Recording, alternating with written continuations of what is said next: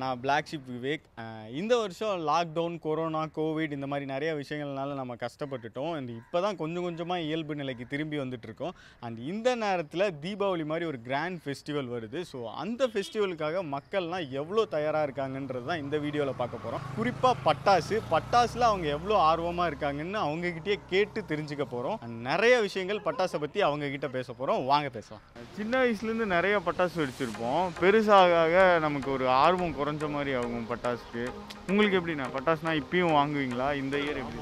இது கரெக்டு தான். இப்போ லாஸ்ட் டைம் வந்து பட்டாசு வெடிக்கக்கூடாது. டைமிங் ரெஸ்ட்ரிக்ஷன் போட்டிருக்காங்க. சுப்ரீம் கோர்ட் ஆர்டர் வேறு இருக்குது இத்தனை மணிக்கு தான் பட்டாசு வெடிக்கணும். அதனால் பொல்யூஷனு அப்படின்ற மாதிரிலாம் சொல்லியிருக்காங்க. வயசாக இந்த ஸ்மார்ட் ஃபோன்ஸு எல்லாமே பயங்கரமாக அதிகமாகிடுச்சுல ப்ரோ அதனால் பப்ஜி கிப்ஜிலாம் போயிடுது. வெளியில் வந்து இறங்கி விளாடணுன்ற அந்த தாட்டும் அவ்வளோ வரதில்ல. சோம்பி ஆகிட்டே வரும் அதனால். நிறைய வெடி பிள்ளை இது இதாகுது. அதாவது வெடிக்கும் போது பாதிப்பாகுது. பிள்ளைங்க ஹாஸ்பிட்டல் போகிறாங்க தூக்கிட்டு போகிறாங்க அது பயம். வேணாம் அந்த வெடி வேண்டாம். ஏதாவது மத்தா போச்சுக்கோங்க இல்லை சங்கு சக்கரம் அந்த மாதிரி ஏதாவது பாருங்கனாலும் அப்பவும் இவங்க ஏஜுக்கு ஏற்ற மாதிரி அதுதான் தேடுறாங்க. சேஃபாக வெடிக்கணும். சேஃபாக வெடிக்கணும். அது அடமுடிச்சு வாங்கினோம் இப்போ இப்போ இங்கே வீட்டில் இல்லை. நான் இங்கே தனியாக இருக்கேன். அதனால் எனக்கு அது ரொம்ப மிஸ் பண்ணுறேன் சின்ன வயசில் பொறுத்த வரையும் அப்பா அப்பா கூட போயிட்டு தேவையான பொருள்லாம் தேடி கண்டுபிடிச்சி வாங்குவோம். அது தனி சந்தோஷம். அதுவும் தங்கச்சி எல்லாம் அடம்பிடிச்சி வாங்குவோம். இந்த மத்தாப்பூ சங்கு சக்கரம்.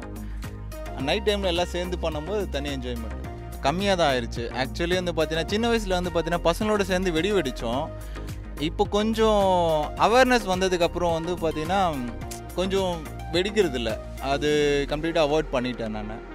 அந்த சின்ன வயசில் இந்த என்ஜாய்மெண்ட் அது மெச்சூர் ஆனதுக்கப்புறம் வராது. எங்கள் ஏரியாலாம் சொல்லவே தேவையில்ல. பட்டாசு தான் எனி டைம் அந்த அஞ்சு மணி ஸ்டார்ட் ஆனால் போதும் பட்டாசு வெடிக்க ஆரம்பிச்சிடும் அதில் தேவையில்லாமல் எதுக்கு காசு வேஸ்ட் பண்ணிட்டு அந்த மாதிரி ஒரு திங் இது? வெடிக்கிறதுக்கு இன்ட்ரெஸ்ட்ல இருக்குது முத முதல்ல ரேட்டு வருங்க ரேட்டு எல்லாம் எல்லாமே கூட்டிட்டாங்க. அதான் இன்ட்ரெஸ்ட் இருக்குது பார்க்குறவங்க ஒரு மாதிரி என்ன இந்த வயசில் போய் இது வெடிக்கிறானா அப்படின்னு கேட்பாங்க. அதுக்கு அதுக்கு பாதி பேர் வெடிக்காமல் இருப்பாங்க. ஆனால் இன்ட்ரெஸ்ட் எல்லாத்துக்கும் முக்கால்வாசி இருக்குது இன்ட்ரெஸ்ட் போயிடுது எல்லாருக்கும் அப்படி தான் ஃப்ரெண்ட்ஸ் எல்லாம் அப்படியே கொஞ்சம் தூர தூரமாக போயிடுறாங்க. ரோட் இப்போ யாருமே வெளியே அந்த அளவுக்கு பண்ணுறதில்ல நமக்கு ஏன்னா இப்போ வர வர வந்து எல்லாத்தையுமே மறந்துட்டு போகிறாங்க பசங்க சின்ன பசங்கலாம் கிரவுண்ட்னால என்னன்னு தெரியாமல் போயிடுச்சு. இப்போ ஒன்றும் நாளில் பட்டாசு கூட செல்ஃபோனில் வந்து சவுண்டு சவுண்ட் வச்சா அது சங்கு சாக்கரோ அது புஷ்பானம் அப்படி சொல்கிற மாதிரி வந்துடும் போல. அப்படிலாம் வேணாம். ஏதோ முடிஞ்ச அளவுக்கு பார்த்து அப்பா அம்மா கூட வந்து அடிச்சாங்கன்னா எல்லாம் ப்ராப்ளம்லாம் போகும். அதாவது இப்போது பார்த்தீங்கன்னா தமிழ்நாட்டில் அதிகமாக இம்போர்ட்டட் பட்டாசு தான் அதிகமாக இருக்குது ஸோ அதனால் வந்துட்டு நிறைய பேர் வந்துட்டு அதையே வாங்கி வாங்கி வெடிச்சிடுறாங்க. ஸோ எல்லாருமே அது சைடு போயிடுறாங்க. இப்போ நம்ம நாட்டு இப்போ சிவகாசி பட்டாசுலாம் யாருமே வாங்குறதே கிடையாது. ஸோ அதை பற்றி யோசிக்கும் போது பார்த்தீங்கன்னா வாங்கணுமா அப்படின்ற மாதிரி ஆகிடுச்சு பிகாஸ் எல்லாமே இம்போர்ட்டடாக வந்துருச்சு. எல்லாமே அவனே கொண்டு வந்துட்டான். அப்புறம் எதுக்கு நம்ம இது பண்ணணும்? அவன் வாங்கி வெடிக்கணும் அப்படின்ற மாதிரி ஒரு தாட்டு யங்ஸ்டர்ஸ் மத்தியில் போகுது. இல்லை அது மட்டும் இல்லாமல் நிறைய ரெஸ்ட்ரிக்ஷன்ஸ் வந்ததுனால பட்டாசு வெடிக்கணும் அம்மா அப்படின்ற ஒரு பிரச்சனை வேறு இருக்குது இந்த டைமுக்குள்ளே தான் வெடிக்கணும். ஃபஸ்ட்லாம் வந்து காலையில் அஞ்சு மணிக்கு ஆரம்பிப்போம். நானும் என் ஃப்ரெண்டில் வந்து யார் ஃபஸ்ட்டு வெடிக்கிறா? பத்து நாளைக்கு முன்னாடியே டே பை டே வெடிச்சிட்டே இருந்தோம். இப்போ காலைல அஞ்சு மணிக்கு யார் ஃபஸ்ட்டு ஆரம்பிக்கிறன்றதே ஒரு போட்டியாக இருந்துச்சு. ஆனால் கொஞ்ச நாள் கழிச்சு பார்த்தா ஆறு மணிக்கு தான் ஆரம்பிக்கணும்னு நானுங்க ஆறு மணின்றது எட்டாச்சு இப்படியே ரெஸ்ட்ரிக்ஷன்ஸ் வந்து நைட் இந்த டைம் தான் வெடிக்கணுமா? பசங்களுக்கு அடப்போடா இது வேறு இது பண்ணுமா? அப்படின்னு சொல்லிட்டு அதுவே ஒரு பெரிய இது. மேபி அந்த ரெஸ்ட்ரிக்ஷன்ஸ் ஓப்பன் பண்ணால் நல்லாயிருக்கும்னு நினைக்கிறேன். அதுவாவது பரவாயில்ல ப்ரோ இங்கே வால்யூம் அதிகமாக இருக்கிற பட்டாசுலாம் வெடிக்கக்கூடாது வெடிக்கக்கூடாதுன்னு சொல்லி சொல்லிட்டாங்க.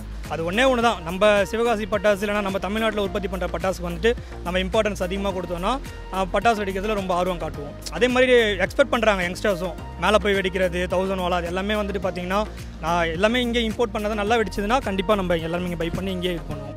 Happy Deepavali happy Deepavali family and friends அது என்னமோ அறுபது சதவீதம் உண்மைதான். ஏன்னா நமக்கு வயசாக வயசாக பட்டாசு மேலே இருக்கிற ஈடுபாடுகள் குறைஞ்சிரும். ஆனால் குடும்பத்து மேலே இருக்கிற கடமைகள் அதிகமாயிடும். ஸோ நம்மளால பட்டாசு வெடிக்க முடியலனாலும் அந்த பட்டாசு குடும்பத்தில் இருக்கிறவங்களுக்கு வாங்கி கொடுத்து சந்தோஷப்பட முடியும்.